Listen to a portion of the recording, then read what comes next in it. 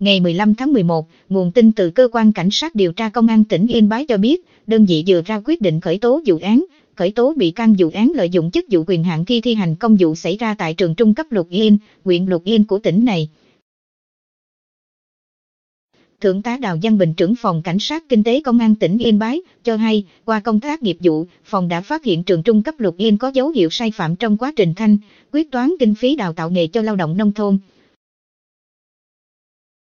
Do đó, cơ quan cảnh sát điều tra công an tỉnh Yên Bái đã khởi tố vụ án, khởi tố bị can đối với Nông Ngọc Ánh hiệu trưởng, Nguyễn Duy Trọng kế toán và Trần Lan Anh thủ quỹ về tội lợi dụng chức vụ quyền hạn trong khi thi hành công vụ quy định tại khoản 2, điều 356, Bộ luật hình sự.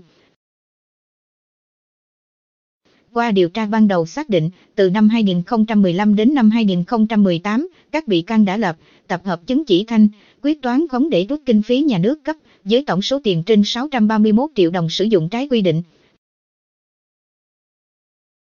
Đến nay, các bị can đã tự nguyện nộp lại số tiền 150 triệu đồng để khắc phục hậu quả. Đến ngày 12 tháng 11, cơ quan cảnh sát điều tra đã khám xét nơi làm việc của các đối tượng, tạm giữ số tiền trên 257 triệu đồng. Vụ việc đang tiếp tục được điều tra.